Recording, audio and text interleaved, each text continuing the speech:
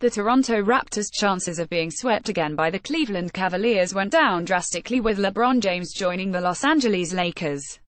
For years, LeBron was the king of the East and maybe seeing the rise of the Philadelphia 76ers and the Boston Celtics as something that would threaten that claim. Or maybe the opportunity to play for an iconic franchise was too good of an opportunity to pass up. Whatever the reason is, it leaves the Raptors a fighting chance to try their luck once again but it doesn't mean that they're in the clear.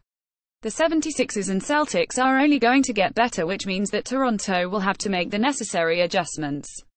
As Eric Koreen of The Athletic notes, the Raptors are seen as the third best team in the conference. More from tip of the tower as Koreen notes, the Raptors could see themselves in a position to pay into the luxury tax for until 2020 where a lot of big contracts come off the books.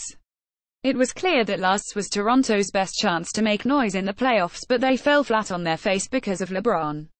Koreen believes that it might be easier to convince ownership to give the team the financial support for the short term and it's hard to argue against that.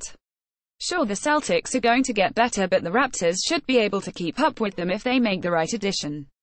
Maybe a team in the conference is willing to take one of the Raptors' bigger contracts in hopes of making a push for the playoffs. LeBron leaving is going to have a trickle-down effect in the East but to what extent is unknown. The Lakers will be an attractive spot for the big free agent targets still available which is why the Raptors' focus should be on using the mid-level exception, which is expected to be $5.29 million. If the team can use that to find a perimeter shooter or a quality defender and rely on the bench to take the next step, the Raptors could still be in good shape going into next.